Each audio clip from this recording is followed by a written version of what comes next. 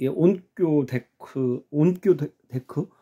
아, 온교 780 아니냐? 여기 지금 오디오 좋아하는 분이 온교 데크의 730 모델이 730인가요? 780. 780입니다. 그래서 CD가 좀 작동이 잘 안 되고 지금 보니까 이게 eject 할 때나 eject가 닫았을 때좀 어, 동작이 잘 안 되는 데다가 또 기어가 아, 또는 잡음이 납니다. 심하게 잡음이 끼릭끼릭한 잡음이 났었는데 음, 지금 데크를 좀 손을 봤는데 지금 현재는 한번 상태를 한번 고친 상태거든요. 한번 보겠습니다.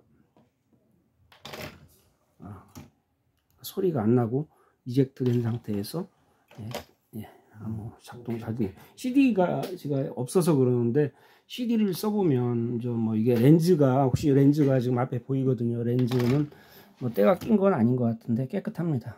데크도 상태가 좋은데 어쨌거나 이게 eject가 안 됐던 것이고 또 eject가 되더라도 기어 소리가 계속 헛돌면서 소리가 꽥 하고 소리가 계속 났었는데 아, 예, 수리가 됐습니다. 다행입니다.